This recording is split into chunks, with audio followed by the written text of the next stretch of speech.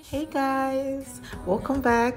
Okay we're making spinach soup today without red oil. Yes no single oil guys. So first off make sure you wash your vegetables properly and nice and cut it nicely just the way you like it and this is how i like it. So i'm cutting it this way. And guys make sure you're going to season your meat. This is um, cow tail and cow neck and chicken. I'm using these ones and spiced up with my pepper and seasoning cubes.